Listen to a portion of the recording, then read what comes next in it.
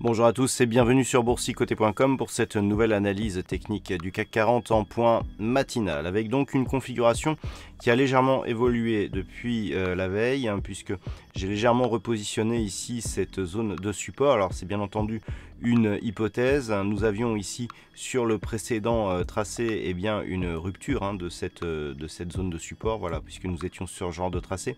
Donc on avait ici une sortie qui correspondait à une perte de la dynamique haussière. Toutefois le repositionnement ici n'est qu'un détail puisqu'on voit qu'en le repositionnant sur ce point bas, on obtient un, meilleur tracé ici sur celui-ci. Donc de toute façon, euh, nous sommes sur clairement ici une, zone de test. Euh, on voit par contre que d'un point de vue un peu plus proche, eh bien, on a le on a les cours qui viennent chercher ici la moyenne mobile 20 exponentielle et que même s'il y avait une sortie ici de la dynamique, eh bien ce ne serait pas au profit d'une phase de consolidation puisque nous n'avons pas d'éléments baissiers actuellement hein, puisque nous avons ici une tentative de comblement de ce gap haussier qui est pour l'instant infructueuse. On reste ici au-dessus de la moyenne mobile 20 exponentielle et il n'y a pas d'attaque de la zone ici de support des 4810 points. Donc même si nous avions ici une phase de euh, temporisation horizontale, eh bien on resterait sur un objectif ici de retour sur la zone des 4897 points. Du point de vue des indicateurs, par contre, on matérialise bien ici un petit mouvement baissier, notamment sur le MACD ici dont les histogrammes évoluent à la baisse. Le RSI matérialise aussi ce petit mouvement de consolidation actuel. Alors, comment synthétiser toutes ces informations? Eh bien, tout simplement en se focalisant sur les niveaux techniques en présence. On a ici un niveau de support oblique dont on sait qu'il peut être repositionné éventuellement pour trouver euh, des, des bonnes zones de contact avec les bougies antérieures. Par contre, nous avons des éléments donc, qui sont présents sur ce graphe et qui, eux, ne sont pas sujets à repositionnement, qui donnent de bons signaux. Donc, cette moyenne mobile, la zone des 4810 et le gap haussier.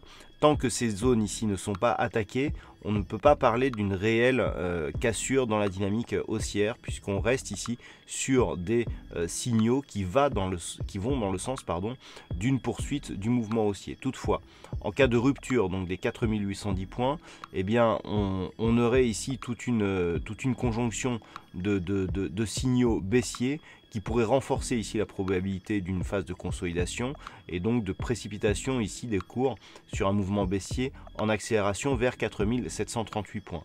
Et par contre, sous 4738 points, là on aurait un réel retournement de tendance euh, assez dynamique avec des, des risques encore d'accélération en direction de cette zone intermédiaire 4640 mais surtout des 4570 points. Donc aujourd'hui, si les cours ici cassaient cette zone de support oblique, tout se jouerait dans cette zone ici qui se situe entre 4810 et 4825. Le comblement de ce gap ici euh, que nous avions eu euh, vendredi, euh, qui s'était ouvert vendredi matin, nous donnerait aussi, surtout sur la manière dont il était comblé, eh bien, des informations sur un, éventuel retournement. Mais c'est vraiment la zone des 4810 points, si elle était cassée, qui donnerait, qui, sera un signal déclencheur ici de l'ensemble de ces, de ces niveaux techniques, puisque c'est quasiment le, plus bas hein, à casser pour vraiment sortir de cette dynamique haussière. Donc tant que tout cela reste en place, objectif ici de retour sur 4897 points. Voilà donc ce que l'on peut dire sur cette analyse technique du CAC 40 en point D'un point de vue macroéconomique, la journée sera assez chargée. Nous avons eu euh, ce matin, donc à 9h30, le PMI manufacturier en Allemagne euh, qui, euh, qui, est ressorti légèrement inférieur aux attentes. nous aurons le PMI manufacturier de la zone euro qui sera dévoilé à 10h. Mais c'est surtout cet après-midi que se focalisera l'attention des investisseurs, puisqu'à 13h45, nous aurons l'évolution des taux de la Banque centrale européenne, suivie à 14h30 d'une conférence de presse de Mario Draghi, dont les interventions sont toujours attendues de nombreux investisseurs. Donc attention du mouvement à venir euh, potentiellement sur tous les actifs libellés en euros. À 17h, nous aurons les chiffres, les, stocks de pétrole brut qui seront dévoilés du côté des États-Unis. Voilà, donc c'est tout pour cette séance. Passez de bons trades, on se retrouve toute la journée pour d'autres analyses techniques, toujours sur le site boursicoté.com.